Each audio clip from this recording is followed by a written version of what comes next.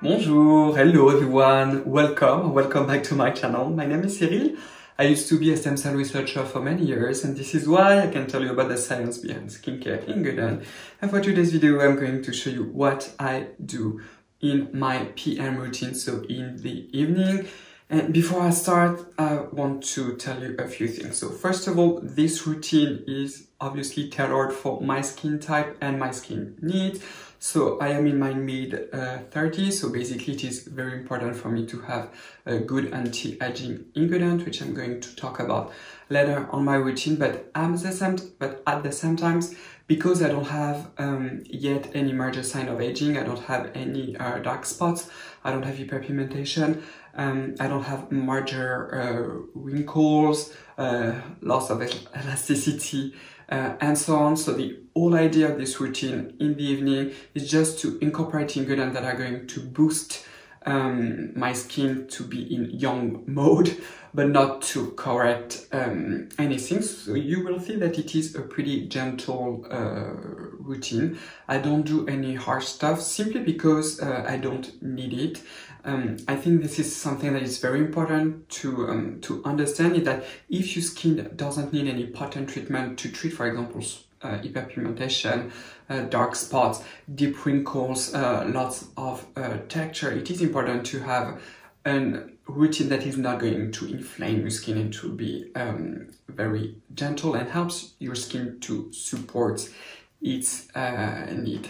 Also, uh, my skin looks like this because of this routine, obviously, and because I've been using and wearing sunscreen for such a long time. And my other uh, top priority is also uh, moisturizing. For a very long time, I have moisturized really well my skin. And I do think that in terms of anti-aging, what works the best, especially with skincare, is by prevention. And prevention means moisturizing your skin like a crazy person and use your sunscreen uh, every single day. I've been using on myself sunscreen every single day, I think for almost 20 years now, and this is why uh, my skin looks like this at my um, age. It is because of um, all of this.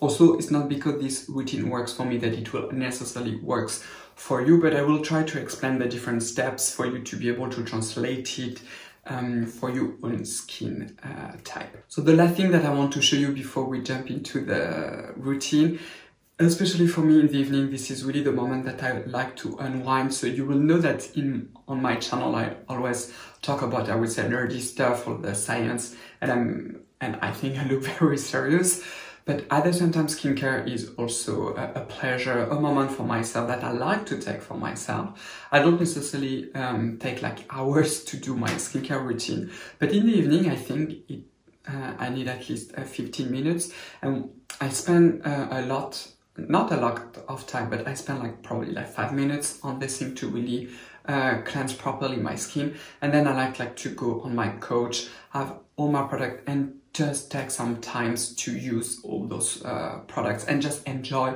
overall the um, whole process because even though skincare can really like change the look of your skin, it is also just a moment for, for you to unwind, to distress and etc. So the first step in my evening routine is to simply um, cleanse my skin. So if you are not new and if you are new, please consider to subscribe to my channel.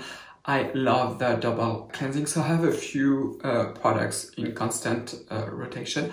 I do tend to um, to choose them uh, mostly uh, how I feel. So this is not something that is uh, very scientific. It just in terms of uh, I would say pleasure. So I have currently uh, maybe three product or four product. Uh, yeah, three uh, product on rotation as a first cleanser. So the first one that I tend to use uh, the most currently, and I will have to buy soon a new one, this is the Curel, the Makeup Cleansing Gel. I love this stuff so much, it's like crazy. The other one is simply the oil from Curel that I really like. It is not necessarily my favorite one, but I, I really enjoy this one. It is fragrance free, super gentle on the skin. A new one that have been sent to me uh, in uh, PR that I also really enjoy is this one from Good Molecules. This is the Instant Cleansing Balm. So it does have uh, tea tree oil. So it has like this sort of botanical um, smell to it. I'm not against fragrance in terms of um, double cleansing simply because it is not a leave-on uh, product. So from time to time I do use uh, a product with um, a fragrance. Obviously if you are sensitive to them or allergic to them, don't use them even um, as um, a first cleanser. So the first product that I'm going to use for tonight is this cleansing gel. I love this stuff uh, so, so much. And then I will um, use a water-based cleanser. So I have three products in rotation as a water-based uh, cleanser. My beloved uh, Matcha Hemp Hydrating Cleanser. I love so, so much this stuff. My, my current uh, favorite duo is uh, the cleansing gel from um, Curel. So it is similar like to a, to an old. I mean, you use it uh, similarly. And then the Krave Beauty. Another option is the foam from Curel. Also, if you are following me, you know that I love uh, this stuff so, so much. It is so gentle.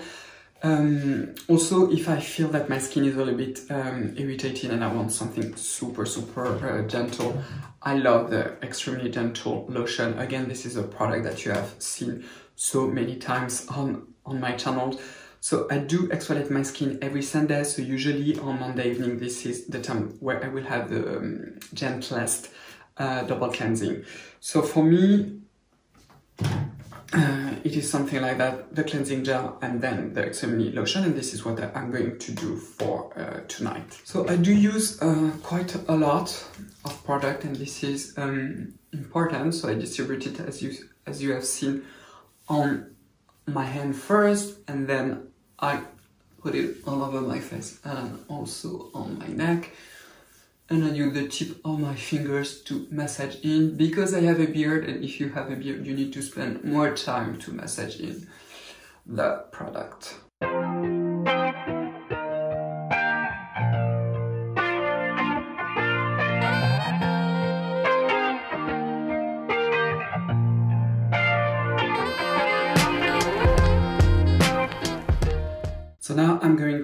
It uh, very quickly. Uh, after the first step, after an cleanser, a balm or a gel like this one, you don't need to rinse it very uh, thoroughly. I always do a super quick rinse. So my second cleanser for tonight is the Avène one. So I use it on damp skin. So because this one is super gentle, I use also um, quite a bit. If you're in France, it is uh, pretty inexpensive. I don't exactly remember how much, but this is um, not expensive at all. So what I like is that it is not really foaming, but it is uh, very slippery and milky on the skin. And again, with this one, I spend a little bit more time than I would with uh, a foam or a foaming uh, cleanser. I mean, I spend more time to massage the product in because the detergent are very very gentle with this one. Again, I spend a little bit more time on my beard. And now I'm going to uh, rinse it and this time I will rinse it very very thoroughly so I like to spend a lot of time to make sure that all the detergent are no longer on my skin. So after rinsing my face I use a towel to pat dry um, my skin, very gentle. And just before I forget, uh, as you can see, I have uh, a beautiful pimple in the middle of my forehead. This is also why I wanted to film this video. So for this one, what I'm going to do is to put um, a patch on top. And what I do is that I pat dry my skin and immediately I apply the patch. So the one that I'm using currently is the By Wishtrend, the Clear Skin Shield uh, patch, uh, I think I will have to uh, also invest in the, I think it, or something like that, because salicylic acid and occlusives and a patch could be uh, super good. So I really like uh, those one from uh. So this is what I'm going to do off camera because I need to be close to the mirror to, to do it properly. So first I pat dry my face. So I have put the patch and before I forgot I use a tweezers to hold the patch uh, in front of the pimple because I do find it super practical. I don't like to use my fingers because I never aim at the middle. Anyway, use a tweezer. So usually uh, what I do immediately after um, washing my face, I pat it dry and immediately uh, I spray some water Uh, so the one that I like to use is the Hydrabio the, the Brume from Bioderma. So in English, this is the soothing refreshing water. Uh, this step is completely unnecessary and pretty uh, not useful, but I just show it to you. So the next step is of course toner. So currently I alternate between two.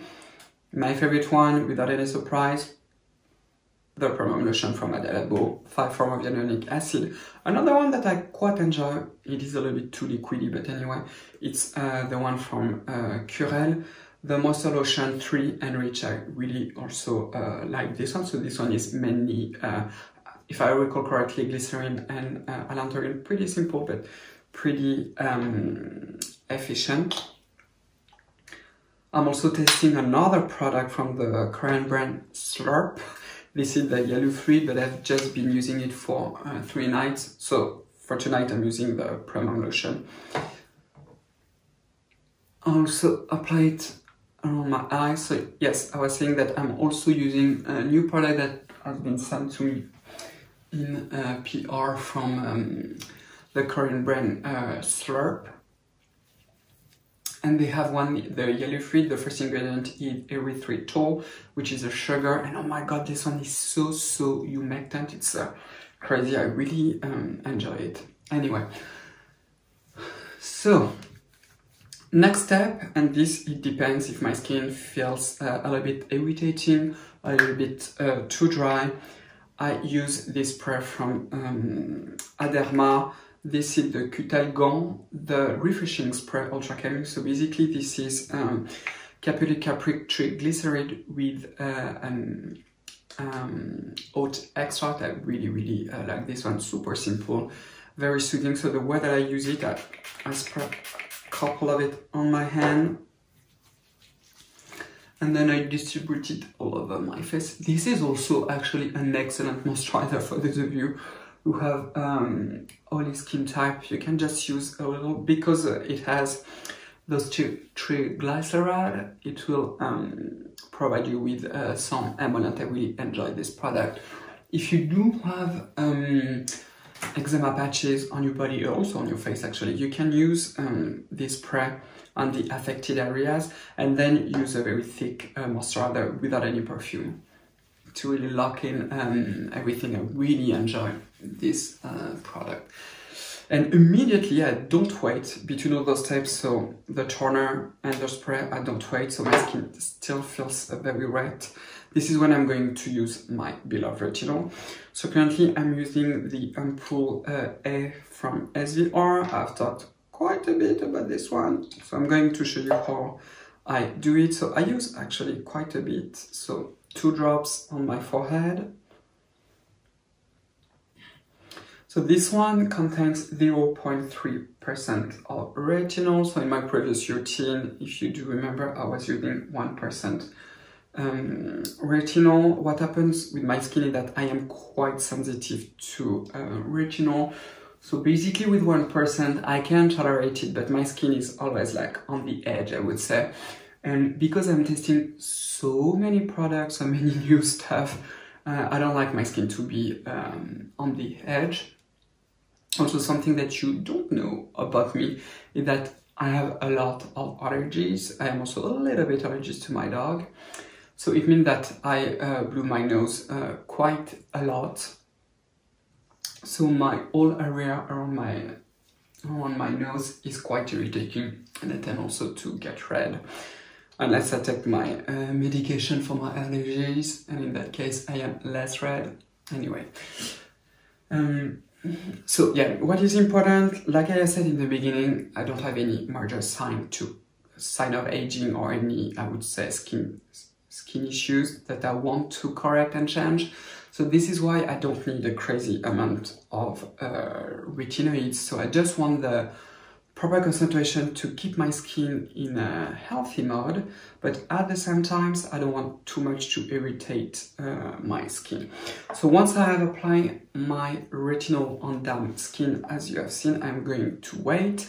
So I, uh, I thought about this trick thanks to um, my friend uh, André. He's uh, We Are Bats on Instagram. His content is really, really excellent, very, very uh, scientific, I have to say And uh, he's the one who um, who told me about applying retinoid on damp skin, and I really like it. Also, another thing that is great with lower concentration of uh, retinol, because I would not advise to do it with one percent retinol unless you want to really have like the full uh, strength uh, of it. Is that even when you apply a little bit, because your skin is damp you can uh, massage it well on your face. And this is something that is important because you don't want to have your retinol concentrated only on one place. You want an even coat all over your face eyes included.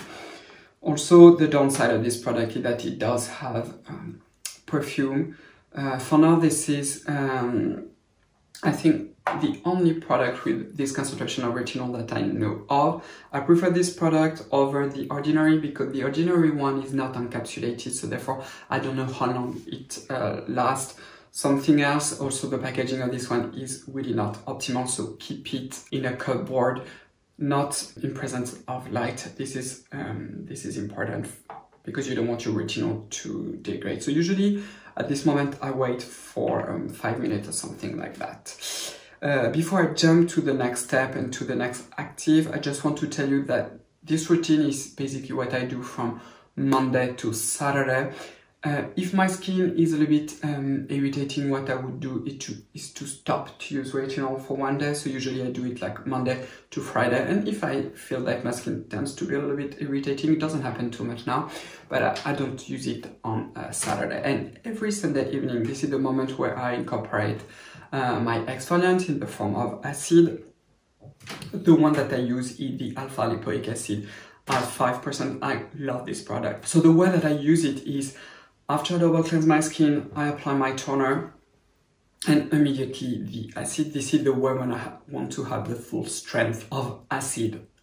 if I feel that my skin is too irritating, in that case, I will use um, this product or even my moisturizer and I will apply it on top to buffer the effect of the um, acid. It's always all about managing the state of inflammation of your skin. You don't want to inflame your skin if you don't need it basically. So once I have let my retinol for roughly five minutes to really sink in, also what is important is that you don't want your skin to dry out in the process. What I also love about this uh, retinol is that it is quite emollient so currently my skin is still well moisturized. You don't want your skin to dry out during the process. So the next product that i'm going to use is a mix with a moisturizing milk and a derivative of vitamin c.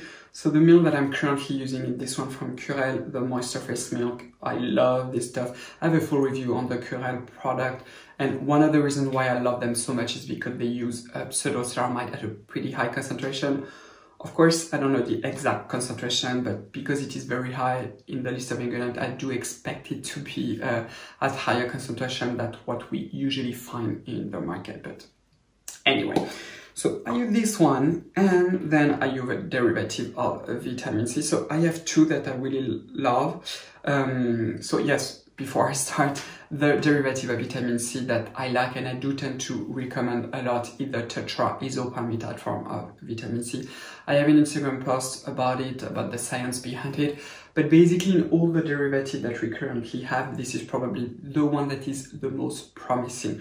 What I love about this derivative is because it is a derivative, it is not formulated at a very low uh, pH, which is what I look for. If you're using a retinol, you cannot use an acid with a very low uh, pH. So the day that I use my alpha lipoic acid, I will skip my uh, retinol.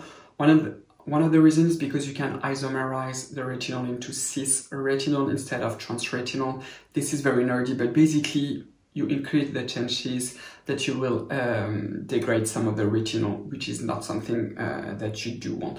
Another thing that you need to take into account is simply the um, uh, your skin type.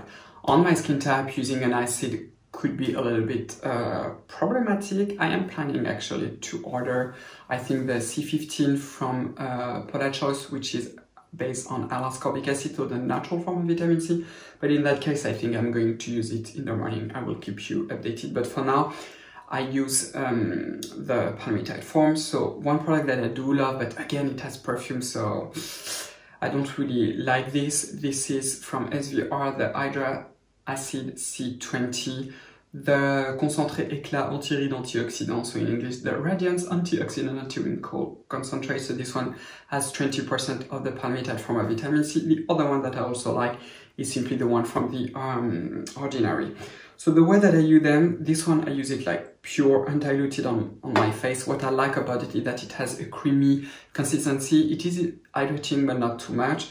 The Ordinary feels quite greasy even though this is not a proper oil, but Anyway, so I use uh, the palmitate form, a couple of drops, usually uh, almost four to five. I then use the milk from Curel. So this one, for whatever reasons, it is better to shake it before you use it. And I do probably three pumps of it. I then mix it with my fingers and I apply it all over my face, eyes included.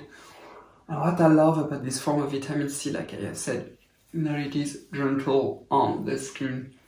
Because every product with a very low pH, such as a good L-ascorbic acid, so the natural form of vitamin C, is also going to exfoliate your skin. And it's a little bit too much uh, for my skin type, and I also don't really um, need it.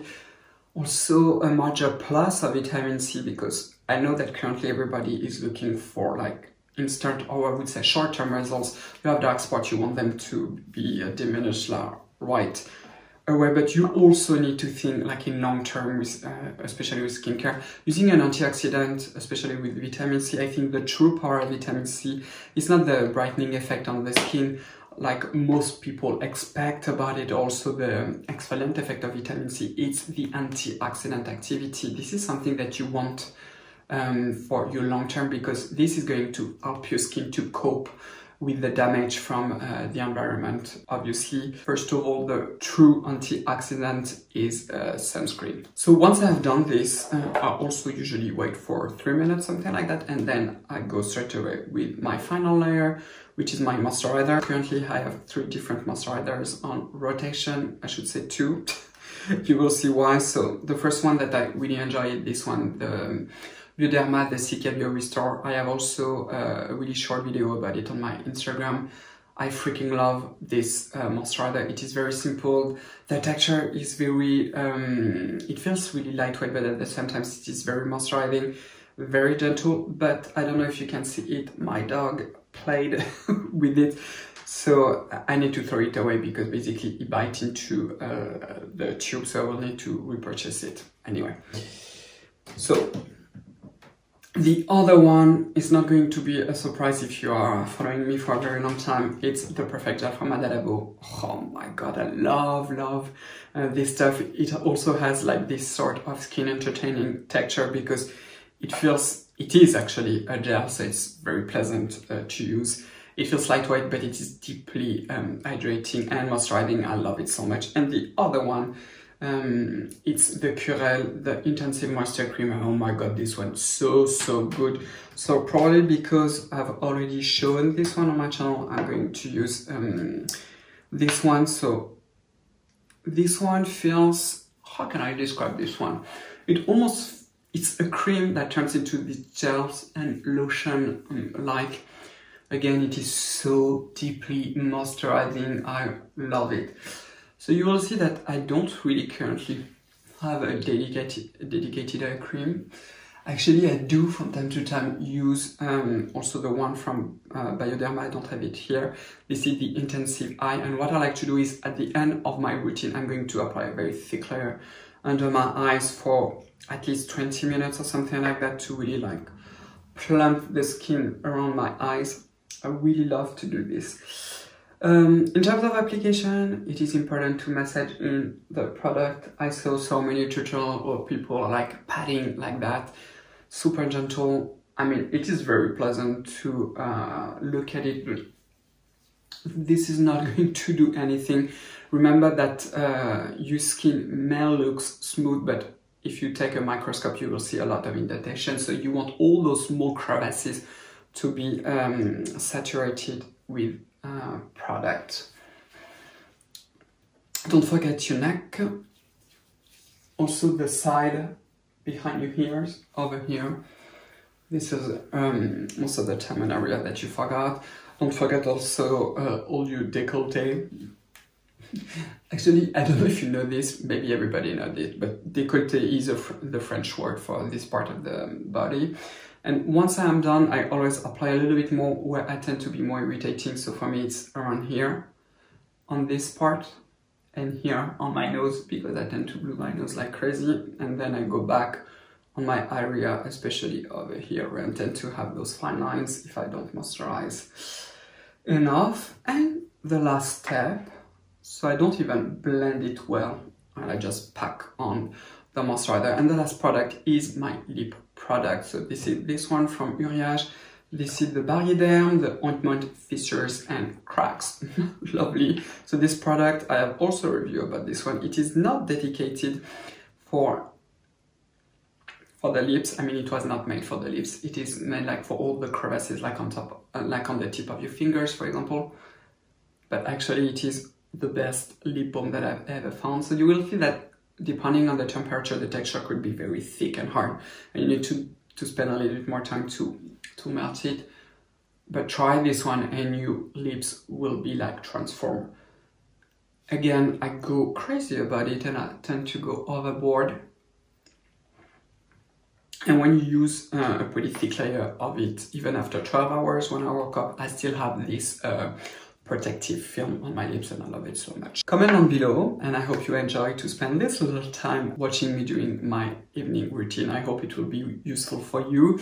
If you like this video, please don't forget to thumbs up, don't forget also to subscribe to my channel if you are new and to ring the little bell to not miss any of my new videos. You can also follow me on Instagram, I have plenty of stuff and quiz on my story and etc. Again, thank you so, so much for being here. I love, love your support and I will see you next time for my morning routine. Bye bye.